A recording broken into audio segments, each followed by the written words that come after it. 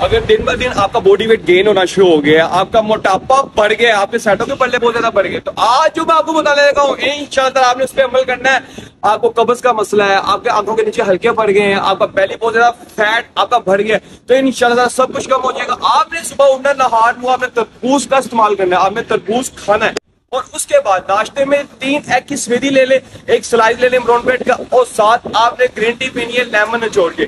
ग्यारह बजे के करीब आपने दो आड़ू लेने और पानी का एक गिलास लेना, उसको अच्छी तरह शेक करके आपने वो पीना दोपहर को खाने में सीने का पीस ले लें, ढाई सौ ग्राम का, दो सौ ग्राम का, और साथ आधी चपाती ले लें और साथ सलाद का इस्तेमाल करें और खाने में फिर आपने एक आड़ू खाना है। शाम को चार पाँच बजे के करीब आपने चार अंडों की स्पेरी लेनी है सात ग्रीन टी का कप पीना है और पाँच छह बजे के बाद आपने फिर दोबारा तरबूज खाना है।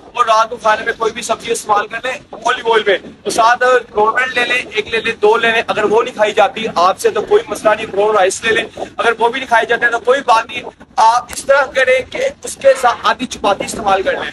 और उसके अलावा आपने क्या करना है, आपने पूरे दिन में सात से आठ लीटर पानी का इस्तेमाल करना है और हर खाने के बाद याद रखना है आपने एक बार लाजमी खाना है।